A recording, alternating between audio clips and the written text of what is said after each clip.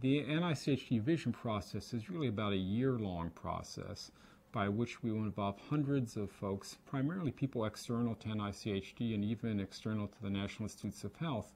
to help us really think what are the scientific opportunities over the next decade or so across the mission of NICHD. We've identified nine thematic or content areas that we're really going to explore, each of them through a separate workshop. The nine areas, the first is behavior, the second is reproduction, the third is pregnancy and pregnancy outcomes, the fourth is cognition, the fifth is plasticity, the sixth is diagnostics and therapeutics, the seventh is development, the eighth is environment, and the ninth is developmental origins of health and disease. So we'll explore those thematic areas. We also have some sort of cross-cutting elements that will go across these conversations. For instance, training. In each of those nine thematic areas, we need to worry about how will we grow the workforce to be able to take care of the research, to really take advantage of the research opportunities that we identify. So there'll be things like training that we consider in each of the workshops. I think the catalyst for the vision process is the fact that we're really entering a new era in biomedical research. We have tools we never had before, things like having the genome sequence available, but other kinds of tools as well that really put us in a different place scientifically than we've ever been before. And it's important as we continue to use federal dollars wisely and well to move forward the kind of research that we're committed to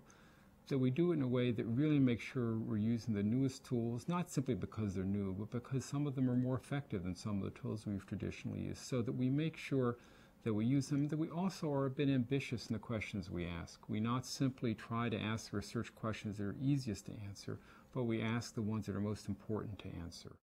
We deliberately are involving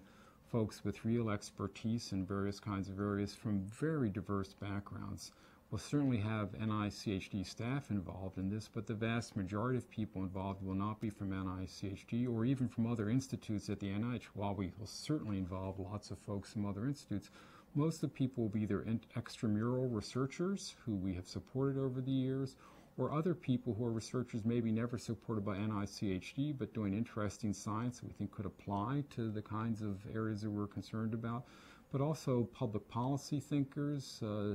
advocates for various kinds of disease groups or other kinds of groups, uh, healthcare professionals. So we want to include people who've identified themselves for years as part of the NICHD community, but also people who perhaps have not been part of our community and that we would like to help us think through our problems and we hope be part of our community as we go forward after this.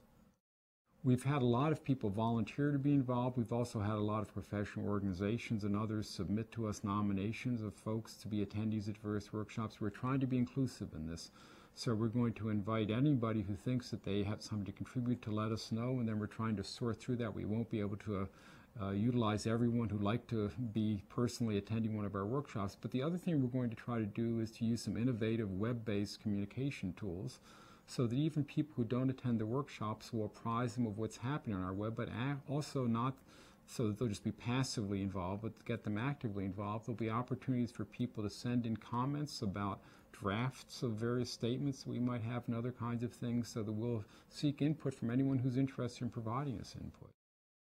The outcome of the, there'll be a, a real product from the process, which is that we would hope to come to some kind of general consensus about what the scientific opportunities are, and that to be something that would be appropriate for publication in a major scientific journal at the end of this process, sometime presumably late in 2011, so that that would be something both that would help guide the Institute some in our thinking about how we prioritize things, maybe even how we organize ourselves, but we're also hoping it would be something that would be of use to the wider community of researchers and others thinking about our issues so they too can think, well, gee, here's some important research questions that maybe our organization or myself individually should be thinking about. It's the right time scientifically to be challenging ourselves to do the best science possible using some new approaches and techniques